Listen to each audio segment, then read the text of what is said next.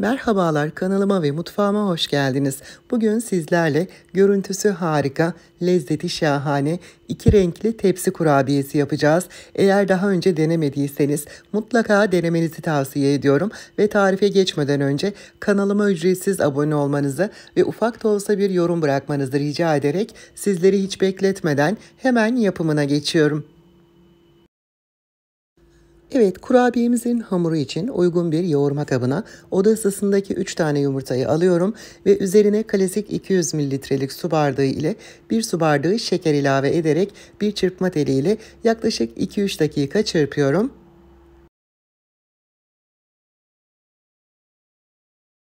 Ve homojen bir kıvama gelene kadar çırptıktan sonra içine aynı bardak ölçüsüyle bir su bardağı yağ ilave ediyorum ve çırpma teliyle karıştırmaya devam ediyorum. Malzemeler güzelce karıştıktan sonra içine 4 yemek kaşığı nişasta, 1 paket vanilya ve 1 paket de kabartma tozu ilave ederek yine malzemeler homojen bir kıvama gelene kadar karıştırıyorum.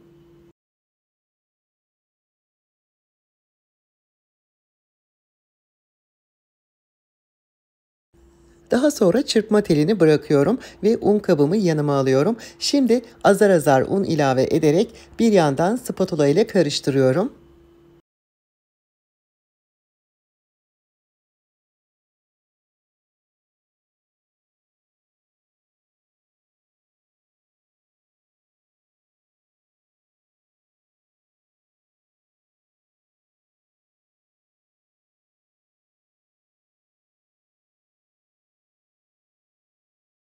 Evet şu ana kadar yaklaşık 3 su bardağı un kullanarak hamuru karıştırdım. Fakat hala istediğim kıvamda değil. Gördüğünüz gibi hala oldukça yumuşak. Şimdi hamurun tam yarısını ayırarak başka bir kaba alıyorum.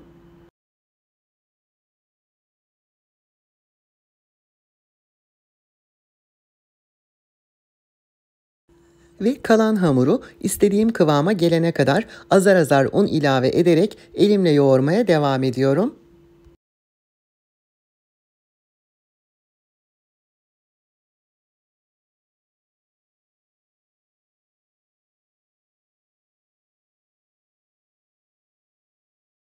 Ve toplamda 4 su bardağı un kullanarak hamuru yoğurdum ve kıvamını sizlere yakından da göstermek istiyorum. Gördüğünüz gibi ele yapışmayan, oldukça yumuşak ve kolay şekil alabilen bir kıvamı var. Şimdi sade olan hamuru bir kenara alıyorum ve diğer hamura 3 yemek kaşığı kakao ilave ederek yoğuruyorum.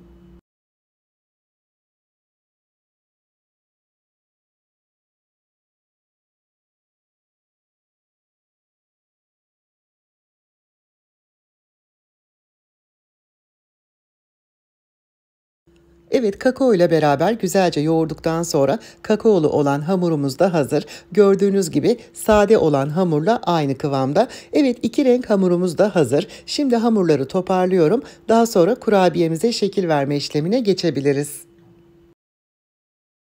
Evet şimdi kurabiyeyi yapacak olduğum tepsiyi sıvı yağ ile yağladıktan sonra yanıma alıyorum ve sade olan hamurdan gördüğünüz gibi bir parça kopartarak tezgahta ince uzun bir parmak kalınlığında silindir haline getirerek videoda gördüğünüz gibi tepsiye yerleştiriyorum ve ben şimdi hamurlarım bitene kadar hepsini aynı şekilde silindir haline getirip bir sade bir kakaolu olmak üzere dizerek tamamlıyorum.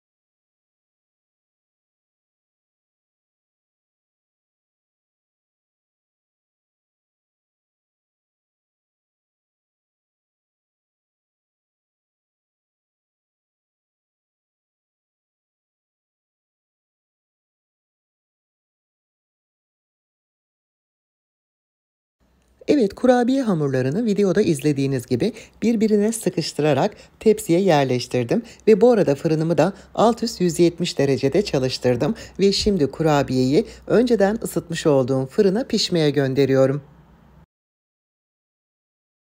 Evet kurabiyeyi önceden ısıtmış olduğum fırında tam 15 dakika pişirdim. Fakat pişme süresi fırından fırına değişebileceği için kontrollü ve dikkatli bir şekilde pişirelim lütfen. Kurabiyeyi fırından çıkartır çıkartmaz biraz sulandırarak ısıtmış olduğum çilek reçelini bir fırçayla her yerine sürüyorum. Ben çilek reçeli kullandım fakat sizler evinizde olan herhangi bir reçeli de kullanabilirsiniz.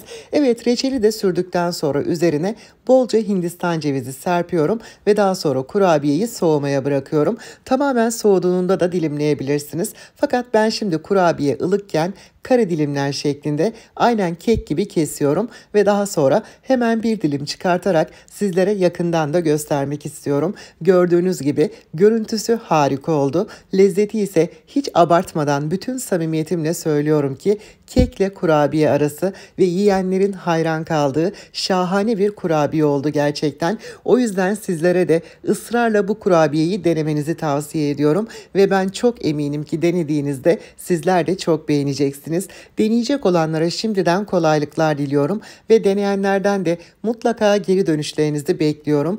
Böylelikle bugünkü videomuzun da sonuna geldik. Destek olmak için kanalıma abone olursanız çok sevinirim. Beğeni ve yorumlarınız çok değerli. Elimden geldiğince hepsini tek tek okuyarak mutlaka geri dönmeye çalışıyorum. O yüzden beğeni ve yorumlarınızı hatta eleştirilerinizi de ihmal etmezseniz çok mutlu olurum. Yeni videolarımdan haberdar olmak için bildirim zilini de açmayı unutmayın lütfen. Bir başka tarifte görüşmek üzere. Hoşçakalın.